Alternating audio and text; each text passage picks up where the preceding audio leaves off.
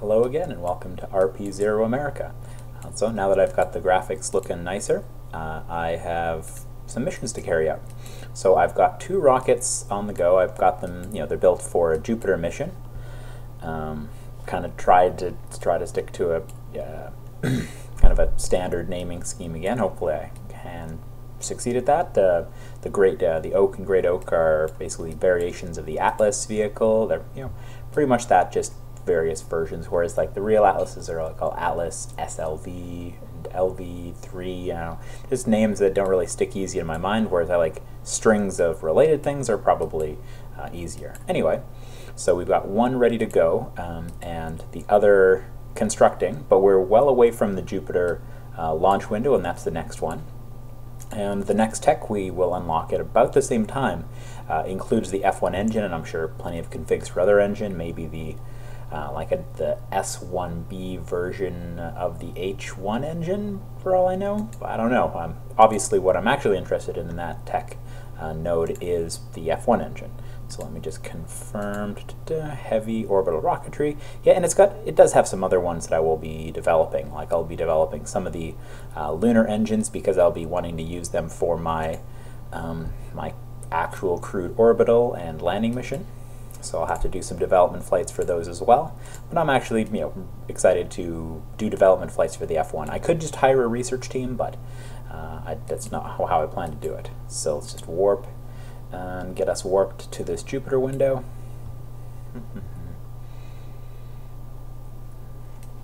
yeah, I did some fiddling. I had I turned off the pretty water, um, and I have left it with three cloud layers, although I still want to do a little bit of experimentation with that. So I don't want to warp to that. I want to warp to this Jupiter window. Oh man, that warp is really fast. I suppose it... Okay, so that's seven days um, out, whereas this Jupiter window is 10 days out, so that's nice. So I've got both ready. Actually, um, sure, shut that. Uh, let's kill the warp. So that one's in storage. Uh, so let me change launch pads so I can roll, have them both rolled out. So I, I, don't need to launch them right at the same time. They're not going for rendezvous or anything, but I can have them both rolling out at the same time. Uh, all right, so three days away from the Jupiter window. Hmm, so I'll send this one up um, a little early. Why not? Um, because it's just uh, the way it tends to be with these interplanetary windows. They're not instantaneous windows. It, it's not, you don't have to be super precise. Like within a few orbits or days of that window, the window kind of opens and closes slowly. And you, you, get variations around how long the time of the time of flight is there, variations of you know, the amount of delta V you'll need, but effectively it's still still good. Uh, you can still, I can probably still do the injection and right after, you know, the, the trip to Jupiter right after this. So again, I apologize. I don't recall if I show the construction of this vehicle, so regardless, I will be discussing it a bit uh, during this mission. So let's see, let's just target this, which is kind of in the plane of the moon there, because sending something towards Jupiter from the vaguely, you know, to any interplanetary mission from vaguely the plane of the ecliptic, uh, the plane of the moon. Sorry, I'm sure those terms mean different things. I just can never quite memorize the subtle differences. Um, but that's a good place to, to launch from. So I will wait until we're in that plane. A little bit time warping. So yeah, this is the, the smaller of the two launch vehicles I'll be using to send things to Jupiter. This is uh, a smaller version of uh, smaller Atlas. They, they look very similar, but I'll point out a difference you'll see on the other one uh, just in a moment once we get warped to this relative inclination because I don't want to blow by it. I'll also probably lower the cloud layers. I usually just kind of spread the separate them out a bit, um, but yeah, I'm pretty sure I've got some cloud layers higher than they way way higher than they should be, um, just to have them spaced out so I could have seen them separately. Anyway, so Atlas first stage. Uh, there's so this is this tank as you see. It's this is that's pretty much exactly what this is. The Atlas uh, LV-3C, and then the other one will have a procedural tank on top of that just to kind of stretch it, and it's going to have more powerful first stage engines. I think the two booster engines are a more powerful variation. All right, so close enough to that plane. Let's go. And so over here I've still got it reporting memory usage and frame rate. Actually, the frame rate has been pretty good uh, during these tests. Maybe it was that uh, just the construction of that other rocket I was using that was helping or contributing to the frame rate coming down.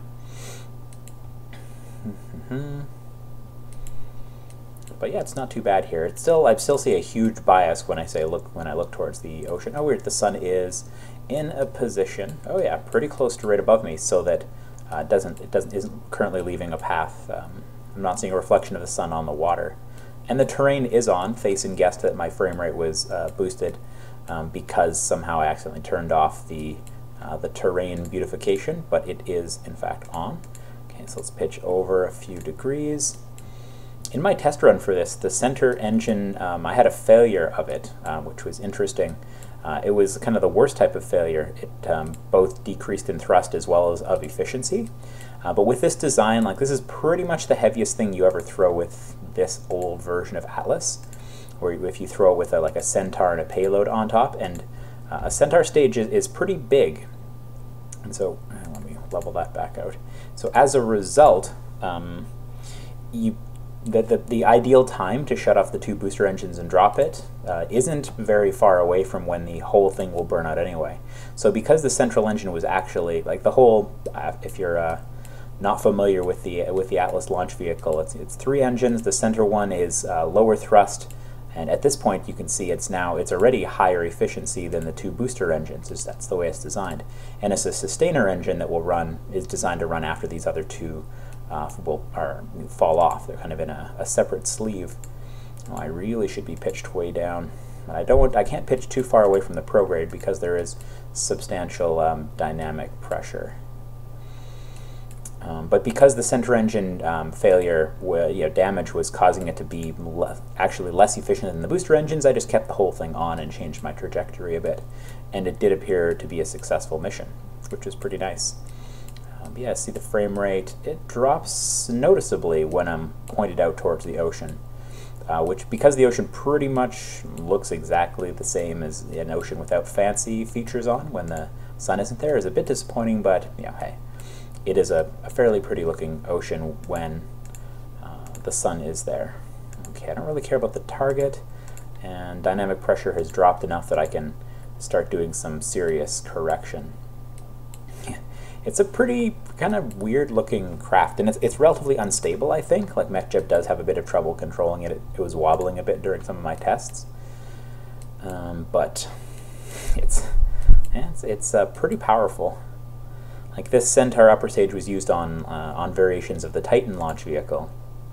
Uh, with solids, uh, with, with two sol solid strap-ons uh, as the first stage. Like if you want to go above, like this is what, 150 ton launch vehicle? If you want to go up from this, it makes sense like in terms of size, but with this um, diameter of technology, uh, using a Titan, using the Titan 2 style makes sense. Um, yeah, and, and various evolutions of the Centaur were you know were used for many things. Just yeah, yesterday for me, uh, it was used to launch OSIRIS-REx, uh, a variation of the of the Centaur.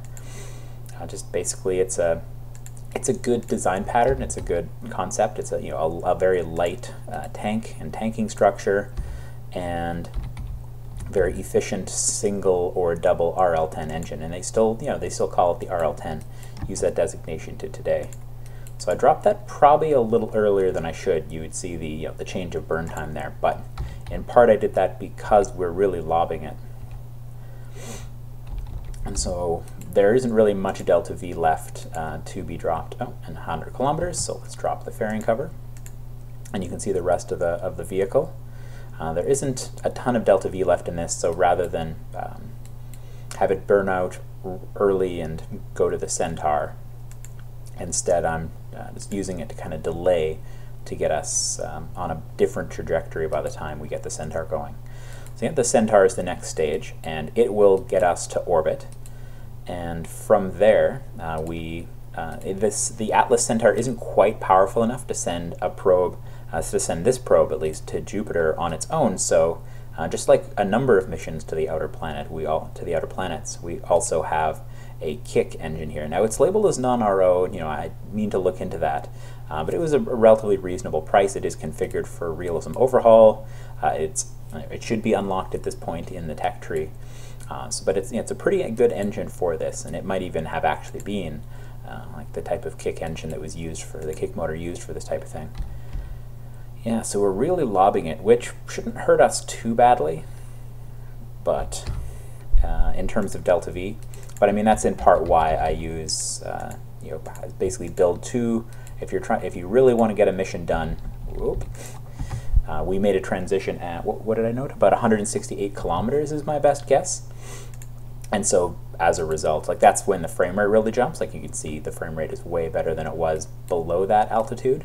Um, and I'll, I'll, be looking into the configs to figure out exactly what happens then, like if that's when scales, something special happens between scaled space and PQS um, rendering territory, or something about when maybe the um, scatter uh, ocean kicks, uh, like stops being rendered and just goes with a kind of a normal looking ocean. Um, but that's why it's kind of a, a rough transition there. So yeah, we're lobbing it pretty high for, for my standards, but I mean, you know, ultimately we're aiming, we're kind of heading towards 300 kilometers, which isn't terribly high. So we'll be fine. I usually stick uh, in these because it's just a, like a low parking orbit.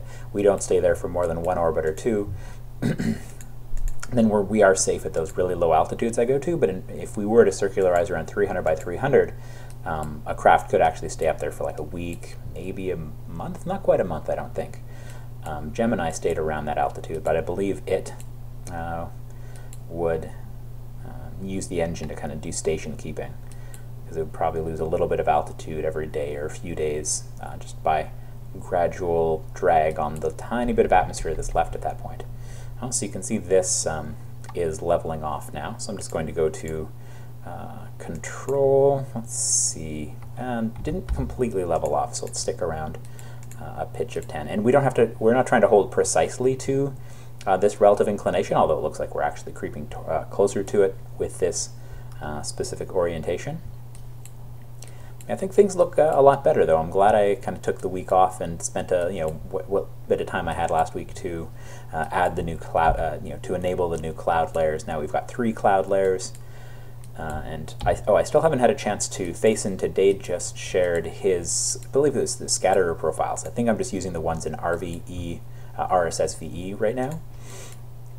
So I'll take a look at uh, his scatterer profiles. I feel like I was, usually I have a spare screen on when I'm, when I'm doing work, when I'm at work, and the I always have like the video feed from the ISS. It's I don't think it's a live feed um, because half of the time of, a, of, an actual live feed would be in the dark. Um, but you know, it's, it's kind of pre uh, pre um, good footage from the last couple days or week I so or so I think, and it uh, in here it looks a bit more red at the horizon than it actually seems to in that video. So I think that's one thing I would tone down. I do like that, and I think it's called extinction the setting in Scatterer. I do kind of like that red look, but it's much more obvious and uh, over land. That quite shouldn't quite look that way.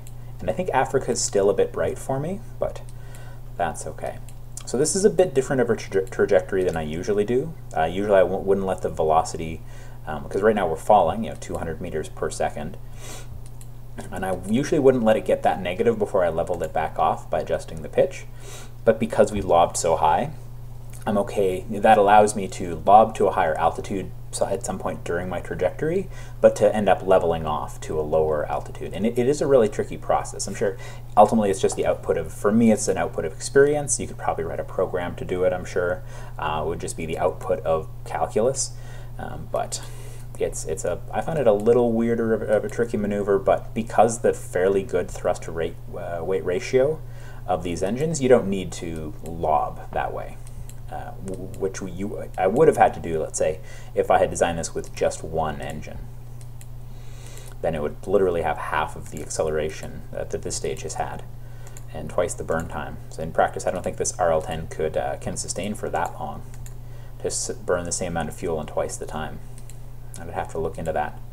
Uh, we are approaching orbital velocity. We're still nowhere near leveled out. That's why I'm kind of staying at this really high pitch and then as soon as we hit, uh, as soon as this hits zero, I'll level off and then kind of review, because we'll probably be just a few seconds away from orbit at that point.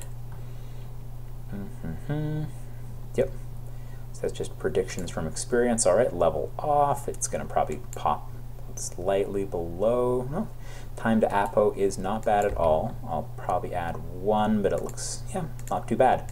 and then I just went up one degree, and that's enough for it to, there we go. So as you see, we, um, we went to what was about 270, 280 kilometers, and that bit of lob was enough to have me low, you know, to drop 20, 30 kilometers.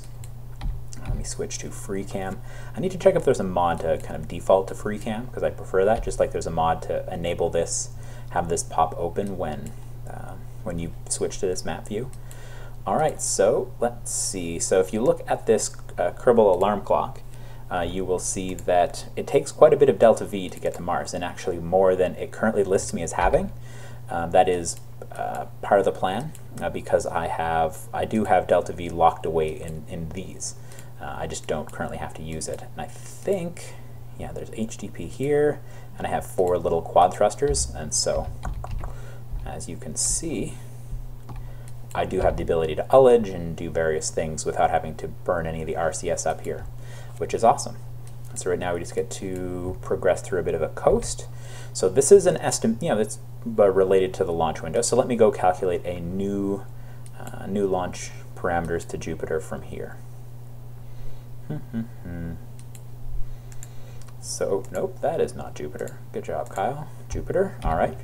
So part of the reason to do this, to use a, a kick motor, specifically what I mean with this design, guys, um, if, let's say, you we'd had more oomph in the first stage, so this Centaur was able to uh, push us to Mars on its own. So what, it, what that would mean is if we hadn't had to have this kick motor, so our probe would be on the way to Jupiter, and so would this entire Centaur. So this entire dry mass, um, even though you don't usually necessarily think of it that way, but this whole thing would also have to have been sped up enough to go to Jupiter. Uh, whereas here, we, you know, we'll be accelerating it all the way to orbit like we have. We'll be accelerating at most of the speed to get to Jupiter, and then this extra little, this much, much smaller motor is all that's going to come to Jupiter along with our probe. You know, we don't actually won't bring the booster, uh, this solid rocket, with us on the way to Mars, um, but it's the only mass we have to accelerate up to that full speed.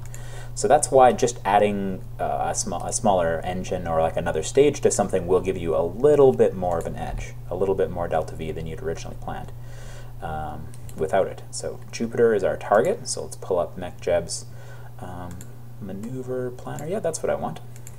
Close you. All right.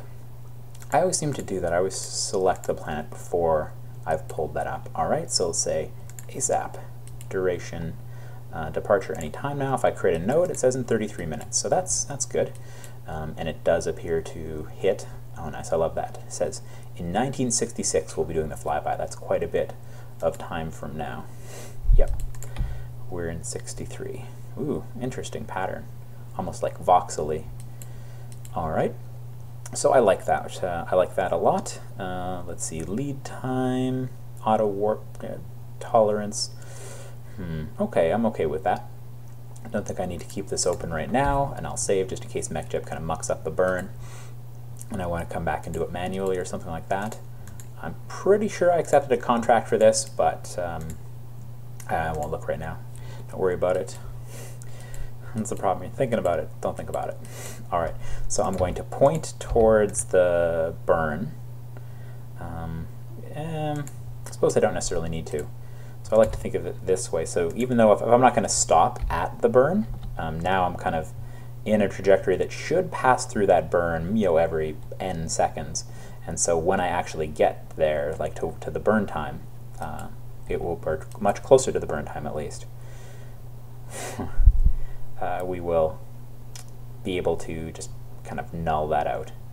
Oh, it looks like we're going into the dark, so that's my cue to turn you on and look at that pretty um, Earth, atmosphere, sun, etc. All right, it's going to be a pretty long burn, um, so that's obviously wrong. Um, Nathan Kell described that. Was it in a stream I watched watched recently? Is a good point. He he was talking about how the stock burn time assumes that your uh, your acceleration isn't going to change, um, which is an assumption, and sometimes it's true, and in, in many cases it's not. So the, the acceleration through this burn is going to be much different than the acceleration at the beginning of the burn, therefore this kind of stock burn time is wrong. Even though other mods and tools and such can make that estimation, stock doesn't. Um, it, it, makes an assumption, it doesn't kind of make a, a more refined estimation. All right, so let me think about how I'm going to have to carry out this burn. Hold on now. So first off, I of course want to make sure the engines are stable. Uh, let's just point at node. And that's why I have all four of these little thrusters down here with all their various directions. So we'll be able to ullage forward without using our actual probe. And one thing I need to remember to do as well is I want to spin things up before uh, before we do the burn, before we separate and fire the solid, because the solid can't gimbal. We may, might not even have control. I don't see an avionics unit attached here, so we may not have control while the solid is burning. Uh, okay, so it's going to kind of keep wobbling back and forth, so I'm just going to manually level this out, and the engine nozzles are dancing. kind of wish the default was that they wouldn't, that they would only um, gimbal if they were on, if they're actually actively providing thrust. But that might be a, a like a, a uh, an annoying load on the code to have to keep checking. Should I gimbal? Um, am I burning? Should I gimbal? Am I burning? Just like kind of how everything has to check. Engines have to check every frame or whatever. Like, uh, do I have fuel? Do I have fuel? And that, in part, slows things down as well.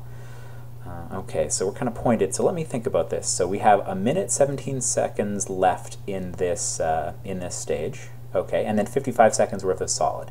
So let's say that's about two minutes and change of burn time. So we're going to want to start burning uh, about a minute before the node. Okay, so let us point, and I don't need to spin it up beforehand because these engines are fine. And there's two engines here, so I can actually just use this. I can just hit Q or E uh, to start uh, start rolling. Uh, use the roll thrusters um, before. Okay, let's see if that can kind of null it out. Notice how it's kind of trying to figure it out itself because I just hit T turned on SAS to see if it could figure it out.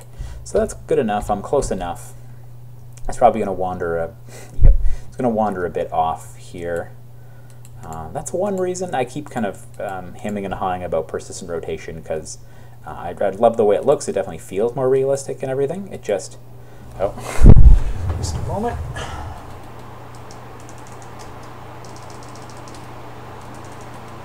Looks like it got hot enough in here that the AC kicked on. it's always a struggle to record a video without that noise in the background. Uh, but soon summer will be over and that won't be a problem. So we're getting closer to that. Ah, all right, let's try to null that out a bit. I'll wait until I'm a bit closer to the burn time to precisely point there. Sorry, I don't recall what I was saying before. I had to quickly go kill that. yeah, that roll will work. Yeah, persistent rotation, it um, it feels, I you know, really like the way it feels and things. I, just, I did like the old feature where I could just simply turn on SAS and um, then time warp and it would just kill the rotation. Mm-hmm. Okay, so let's wait until we're a minute out from my estimated burn. So two minutes away there, and I figured I want to start burning a minute before the node. And so that is what I will do. Okay, so let's point it here. Mm -hmm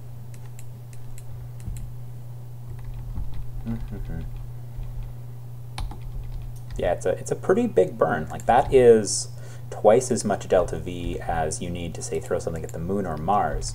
And it's not just you know twice as much say fuel like that's you know the same same idea uh, argument that holds for getting to orbit holds here right all the fuel that I need for say the last 3,000 meters per second I also have to speed up through the first 3,000 meters per second right so it's quite a bit of uh, mass we'll be burning, so I'll kind of take note of, just out of my own curiosity and random love of numbers, I'm going to take a note of this number and kind of see how it evolves through this burn and at the end. Because this is a pretty, this is a fairly small probe, maybe 200, 400 kilogram, if that. It's pretty small. Okay, so we're approaching that burn. Let's just make sure this engine is, yep, we've made it stable and then I will tell it to point at node, oh, okay, point at node and uh, throttle up.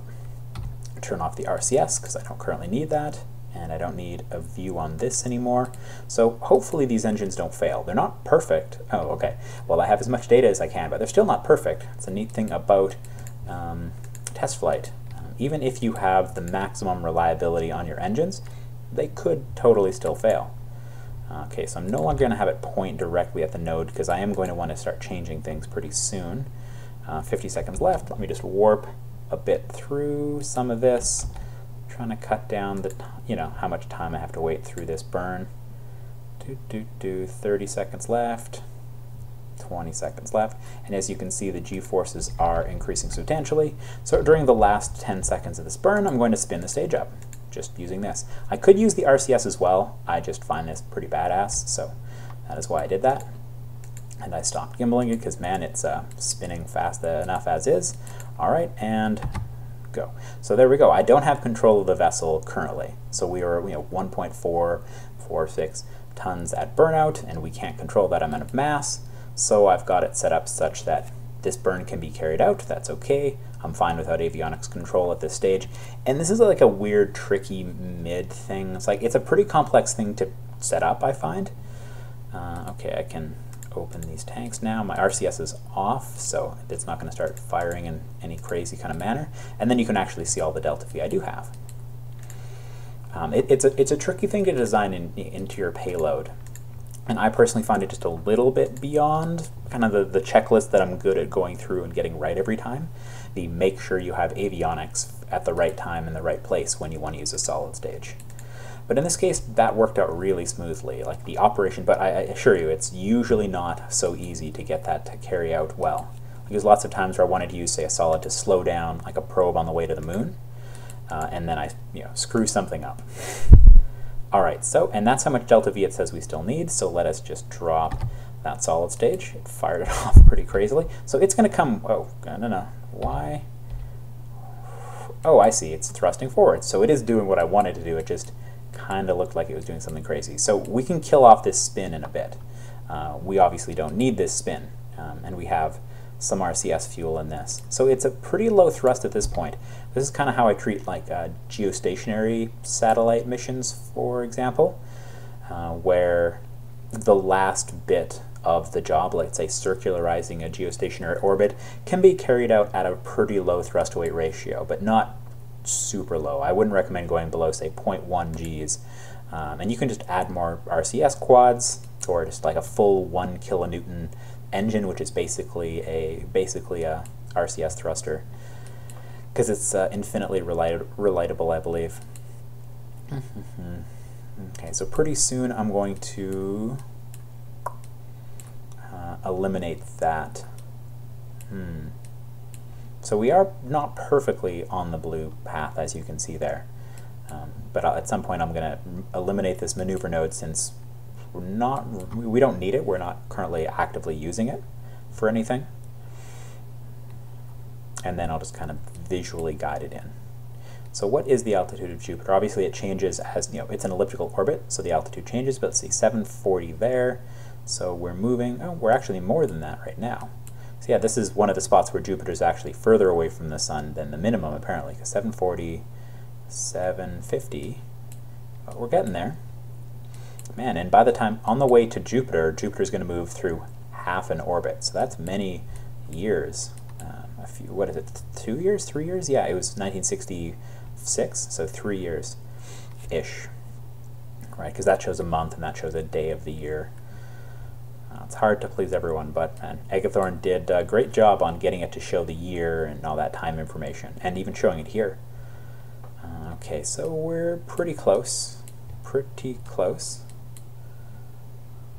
So beyond just getting to the Jupiter system, I don't have any goals with this, but of course, like everything can be a stretch goal, right? So let me kill that, and now it's going to spaz out. Okay, yeah, a little more thrust to get closer. Yeah, so there's going to be some mid-course corrections and fun like that. Um, but right now I'm just going to try to get it really close because I can adjust everything. I've got, you know, 1,082 days to adjust everything and see if I can maybe actually get uh, some science by flying by some of the other planets, uh, just as kind of a practice of... Um, I'm not sure why it's not showing the path beyond that. I'll have to check what my conic sections settings are. If I set as target, okay, well, I don't know what happened there. Yeah, I'll have to check my conic section target, uh, my chronic, uh, conic section settings. Sorry, don't know why I had so much trouble saying that. In the meantime, let us just do a quick save before I have a chance to screw anything up and spin this uh, puppy down a little bit. Oh, weird. Um, it seems to be spinning more than I recall it spinning. And I currently don't have it, um, oh man, I can't even tell which direction it's spinning in. Like I'd like to uh, thrust in whichever direction would reduce. Oh, is it going to spin itself to death? I hope not. Definitely hope not. Oh, camera's unhappy. Okay, so let me just uh, temporarily, hopefully it doesn't kill itself. Um, there is a setting I usually use for docking where it will show, da -da -da don't recall which menu it's in, but it will show the angular momentum of the craft. Hmm, not sure where it is, but we're pretty much at the end of the video here. I'm just going to spin this down. Target, heading to target, no. Docking, there we go, docking guidance, angular velocity, or no. Sorry. Position, velocity, yeah, I'll find that anyway. Um, but this has been RP0 America. Uh, we have sent our first probe towards Jupiter, uh, and I just need to spin it down a bit, and then I'm not quite sure what it'll be in the next video. Definitely, uh, you know, it's likely the launch of the next uh, vehicle. I might, you know, see Earth uh, as it recedes again, etc. I'm just worried about how crazy this camera is behaving, so I'm just going to end the video now. Thanks for watching. Goodbye.